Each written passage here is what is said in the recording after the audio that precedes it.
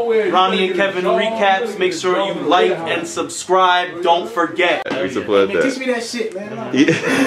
That's what I'm talking about. Shout out to Lex though, man. iBattle, man. I always love coming up here, bro. Yes. I mean, I ain't from, I ain't from here, man. I'm from Pittsburgh, PA, but come up here, I feel like I'm at home. Real shit. That's amazing. That's Shit, what's up. nobody from here but me.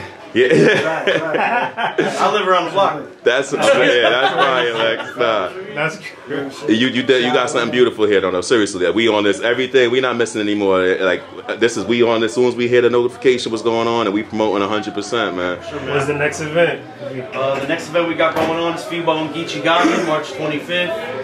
Uh, we got Nils M. Skills debuting in the U.S. He's a top MC from Norway. He's actually a mainstream artist out there, and he's going to be debuting in the, in the U.S. against Random, who is like a traveling poet that goes from state to state and writes poems on the corner for a dollar. It's like a very, it's two of the most random people that would never be in the same room ever under the.